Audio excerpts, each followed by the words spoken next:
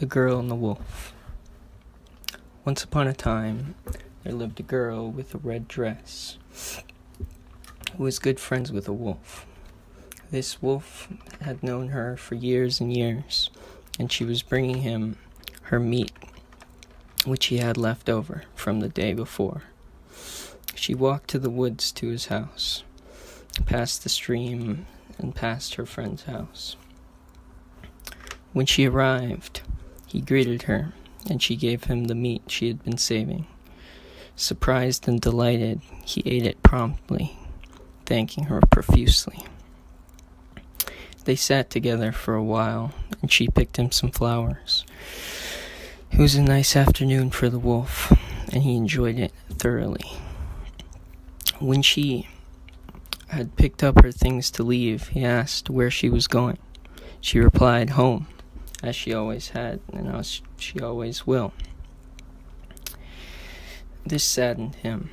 He wished he could stay with her longer, have more of a life with her. But he knew that one day she would go away and have her own life. The revelation of this thought brought a striking clarity to him. He understood that she would be gone one day and he would be alone, without meat and without a friend. She looked at him, maybe understanding what he was feeling, maybe not, and then looked away as she went home. She went out the door to go home. He called out to her, Will you be back? She looked at him and looked away and kept walking. He ran out the door, chasing her, hoping that this was not the last time he would see her. Confused and surprised, she turned around and looked at him, asking why she was chasing him. He was chasing her. He replied, Please, just stay with me a while longer. I wish not for you to leave this early. Understanding that this might be her only chance to leave. She nodded and said, I'm sorry, I must get home. The wolf looked at her, and a feeling of rage built up within him. He would not live his life without her, without meat, without a friend. He turned towards her and bared his teeth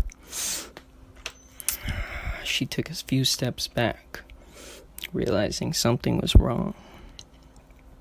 He once again, in a pleading voice, called out to her, Please, stay with me. She said, No, I cannot. I have a life. I have a mother. This only angered him further. In a fit of blind rage, he attacked her, wounding her severely to the point where she could not recover. Looking down at what he'd done, he was aghast. He did not know how this happened or why it happened, but he knew that it did, and he knew that it was his fault. In a state of disarray, he walked back to his house and cried and cried